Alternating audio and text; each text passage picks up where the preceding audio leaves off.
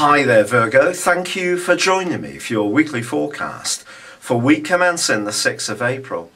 Yours is a sign of precision, of discrimination. Your ability to weigh up what really counts is often your best suit. And this week, with the Sun combining with Uranus, it's possible that you're going to unearth a gem in the terms of the way you understand something and can get really ahead of other people, especially when it comes to marshalling financial resources. If you are an entrepreneurial spirit, this is a marvellous week for you really to show whatever you've been developing on the back burner and just how far-sighted you can really be. But equally, there could be someone else who confronts you in a way you're not expecting.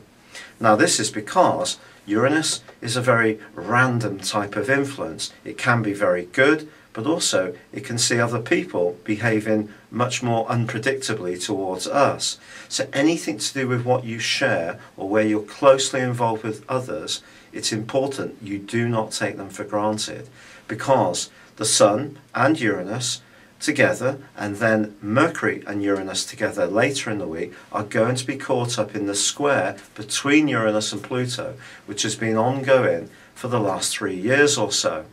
So it's possible that there can be very strong, compelling emotions bubbling around. This can see you drawn towards someone. Are they really right for you? Is it someone who's going to have something of a fascination with you? All this can happen very quickly. Things generally are going to be quite fluid this week. But there are also opportunities because with the Sun and Uranus together and then Mercury and Uranus, both are going to be angling up brilliantly to Jupiter. Now Jupiter is the planet of good fortune and expansion, but for you it has been locked away in a rather more philosophical part of your scope. Now through to August the 11th, it's going to continue there, but it starts to go forwards this week after tracking back for four long months.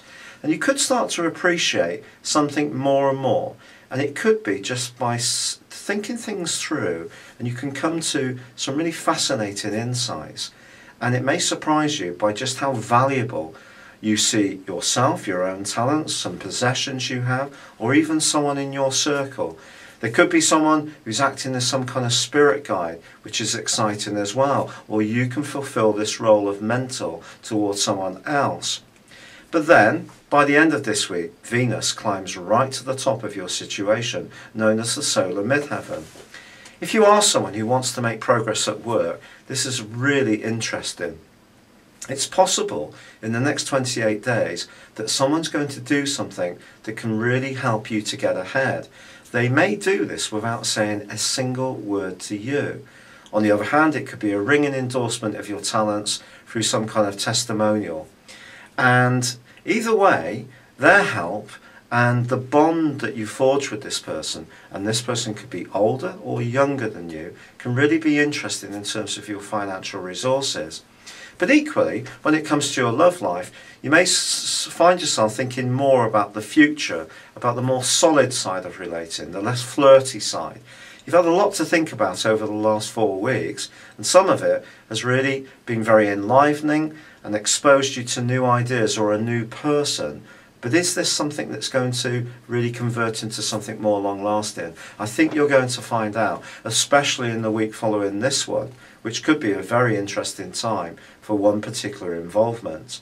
And finally, at the end of this week, there is a quarter moon, which occurs in your sister Earth sign of Capricorn. This one angles back across the heavens towards Aries again. So we get the same axis there for you, which is the fifth, eighth house. Again, to do with compulsions. And maybe you will find yourself doing something which maybe is a little bit uh, beyond your normal bounds where you're not going to be quite so discriminating and just go for it, but it certainly won't be dull. Thank you for joining me. Good luck and goodbye for now.